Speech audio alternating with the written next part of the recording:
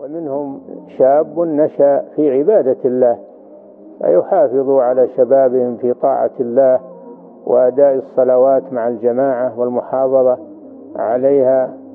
والتخلق بالأخلاق الطيبة وعليهم أن يتجنبوا الأفكار الخبيثة جنبوها وكذلك يتجنبوا صحبة الأشرار وصحبة الفسقة يحافظوا على أنفسهم ليكونوا إن شاء الله من الشباب الصالحين.